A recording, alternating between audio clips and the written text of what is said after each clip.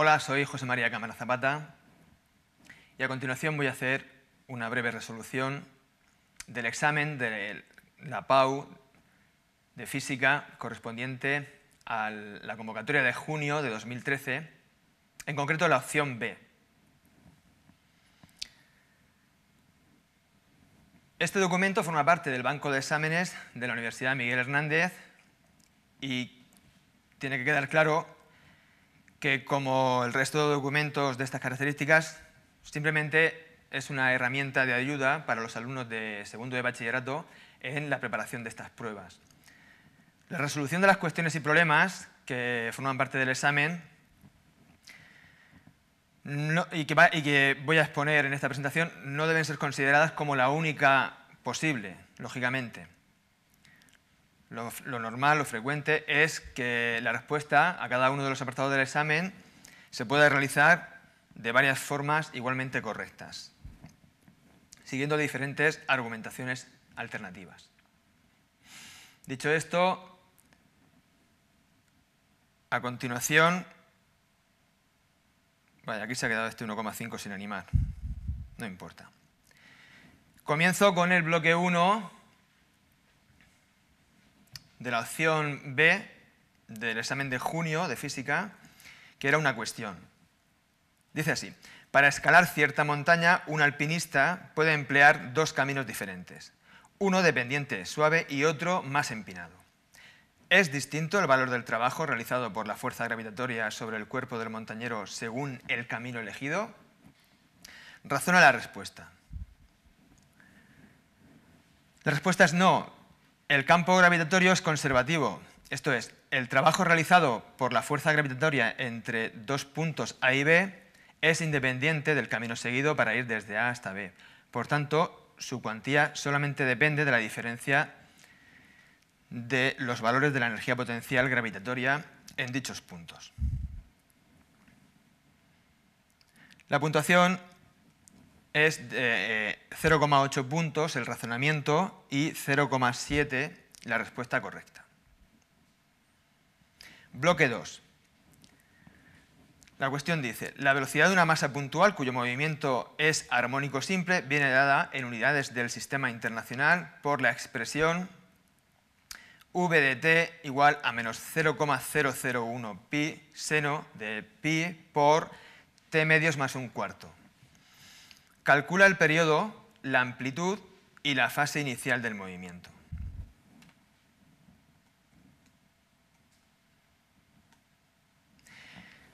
La expresión que describe la posición en un movimiento armónico simple es la que se indica. x de t igual a a coseno de omega t más phi sub 0.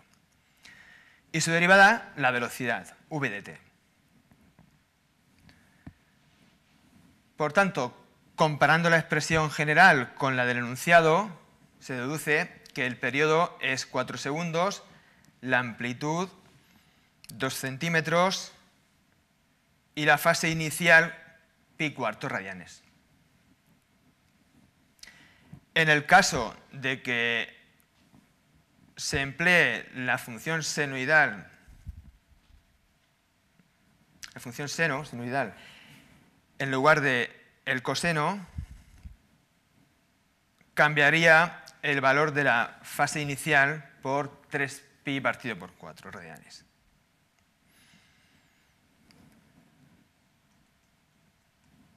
En esta cuestión se puntúa con 0,5 puntos el cálculo de cada una de las magnitudes que se piden.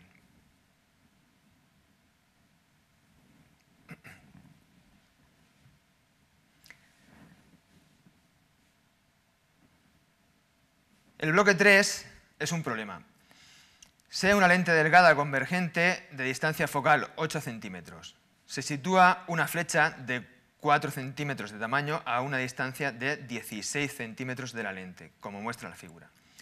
Indica las características de la imagen a partir del trazado de rayos. Y B calcula el tamaño y la posición de la imagen y la potencia de la lente.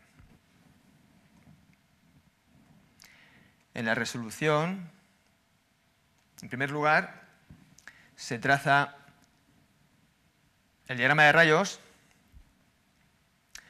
y como se aprecia, la imagen es real e invertida. Si el trazado es preciso, incluso se puede ver también que es del mismo tamaño que el objeto. En cuanto a la posición de la imagen, si se aplica la ley de Gauss para las lentes delgadas, se puede obtener que S' es 16 centímetros. Esto es, la imagen se encuentra 16 centímetros tras la lente. Se verifica que es una imagen real. El aumento lateral proporcionado por una lente delgada viene dado por la expresión, de modo que el tamaño de la imagen es el mismo que el del objeto, y al ser m sub L negativo, se verifica que la imagen está invertida respecto al sentido del objeto. Por último, la potencia de la lente viene dada por su expresión y es, en este caso, 12,5 dioptrías.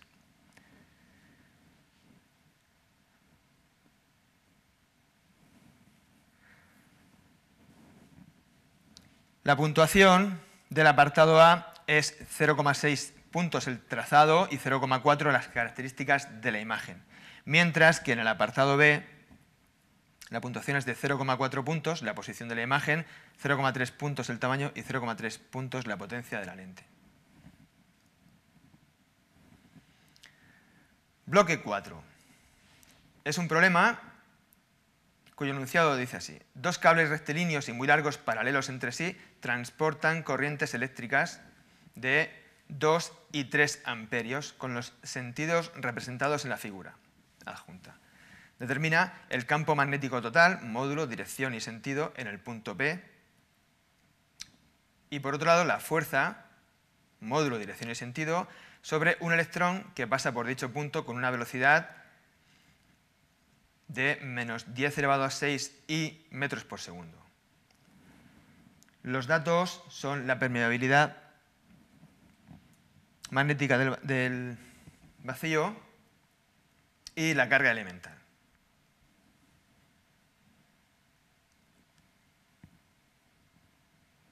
En este caso, el campo magnético total en el punto B será la suma de los campos creados por cada una de las intensidades de corriente.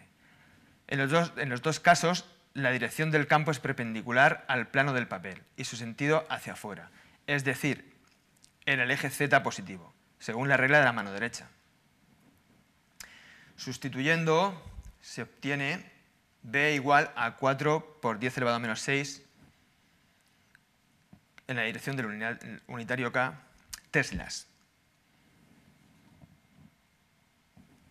Por otro lado, el apartado B pide calcular la fuerza magnética sobre el electrón que resulta perpendicular al campo y a la velocidad del electrón y está dada por la fuerza de Lorentz magnética.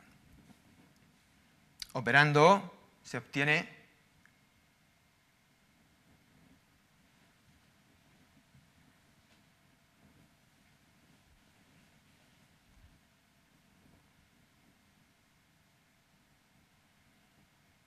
menos 6,4 por 10 elevado a menos 19 en la dirección del unitario J, newtons.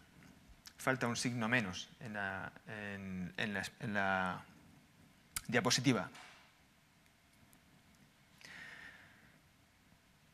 Esto también se podría haber calculado obteniendo primero el módulo y justificando la dirección y el sentido con la regla de la mano derecha.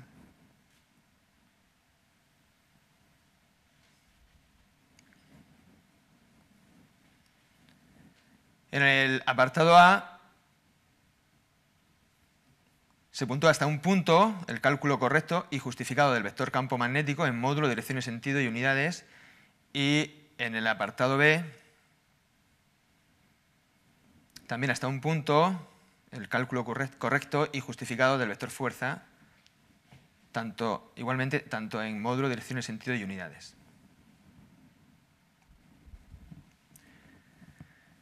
El bloque 5 es una cuestión. En la gráfica junta se representa la energía cinética máxima de los electrones emitidos por un metal en función de la frecuencia de la luz incidente. ¿Cómo se denomina el fenómeno físico al que se refiere la gráfica? Indica la frecuencia umbral del metal. ¿Qué ocurre si sobre el metal incide luz de longitud de onda 0,6 micrómetros? Los datos son la constante de Planck, la velocidad de la luz en el vacío y la carga elemental.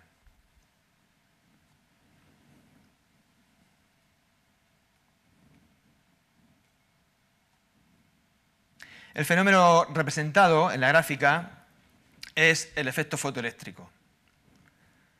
Se puede observar que la, frecuencia de corte, que es la mínima para la que hay eh, fotocorriente, es V sub 0 igual a 10 elevado a 15 hercios. Si la longitud de onda correspondiente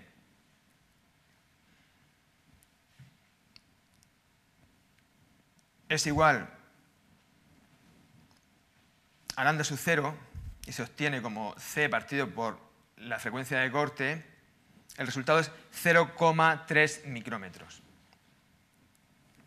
Por tanto, si la longitud de onda de la luz incidente es mayor que lambda sub 0, la frecuencia será menor y de ahí que no se produzca efecto fotoeléctrico.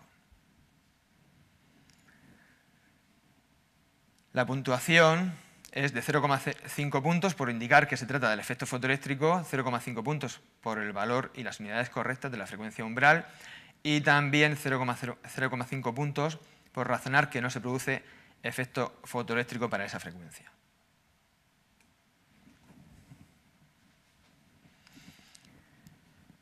El bloque 6 dice así, indica razonadamente qué tipo de desintegración tiene lugar en cada uno de los pasos de la siguiente serie radiactiva.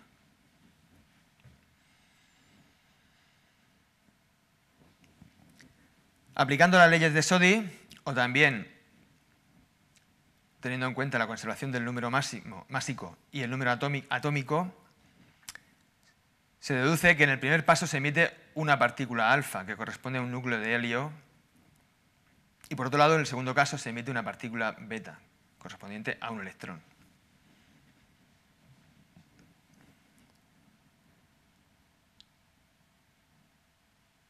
La puntuación es de 0,75 por la respuesta correcta en el primer paso y 0,75 la respuesta del segundo.